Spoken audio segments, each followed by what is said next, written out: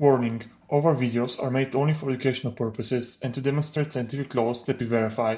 These experiments must be supervised and we are not responsible for an incorrect execution of an experiment done by others. We do not encourage in any way that you misuse our experiments to do violent things and harm others. Hello everyone, welcome back to Chemist by Destiny. Today we see a new video with Asen, our chemist, and uh, so the experiment that we're going to do uh, is to prepare limonene uh, by an orange.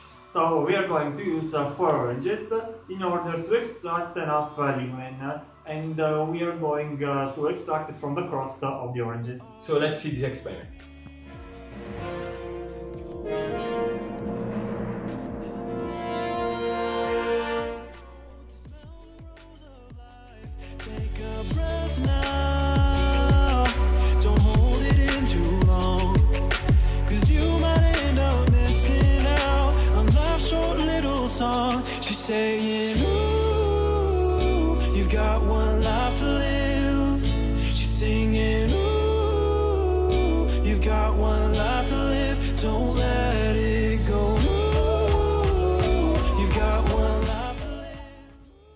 So the procedure for the experiment is to first take uh, four oranges, then we're going to peel the crust off, and we're going to cut them, uh, cut it in small pieces. Uh, this way it is more reactive.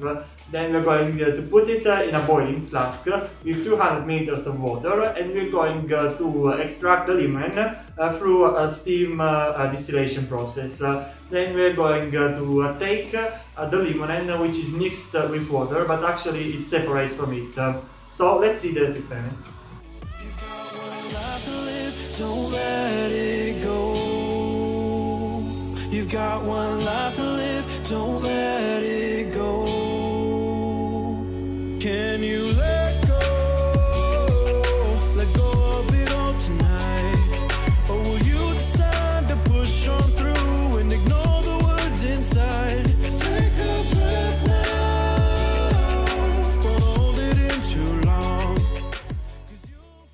So guys, even though Hasan is chemist, I will try to explain you what happens in the experiment. In fact, with steam distillation, we are able to isolate our limonene uh, because this wouldn't happen if um, it was only limonene present in this uh, in our bowl.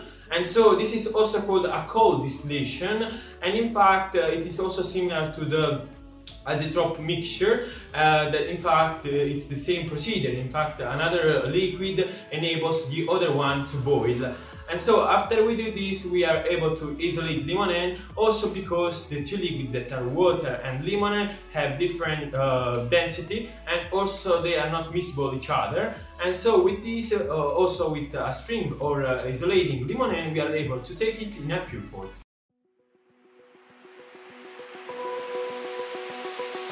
Open eye, feel the waves cut through me. Hypnotized